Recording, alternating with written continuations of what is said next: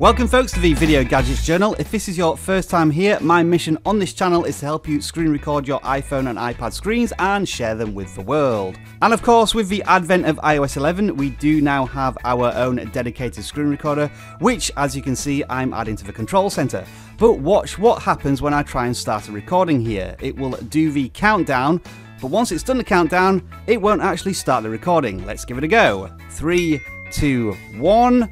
No red recording button, and it doesn't do anything. Let's just test that again. Three, two, one.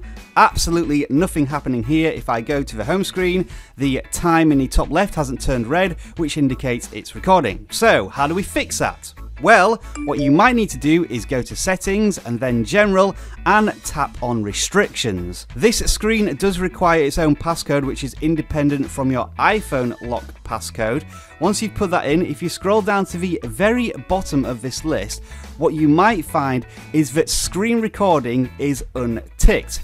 Make sure that is indeed ticked and then scroll to the top of the screen and turn off restrictions if you don't use this screen whatsoever and that should get your screen recordings back up and running. Now I really don't know why this setting is hidden away on this screen and it really doesn't bear any resemblance to the game center it feels like some relic of some old setup that Apple haven't quite finished when they thought about using Screen Recorder in iOS 10 but never did. Anyway, that's your answer. I hope this helped. Subscribe to the Video Gadgets channel for a lot more content just like this. Enjoy the rest of your tech day.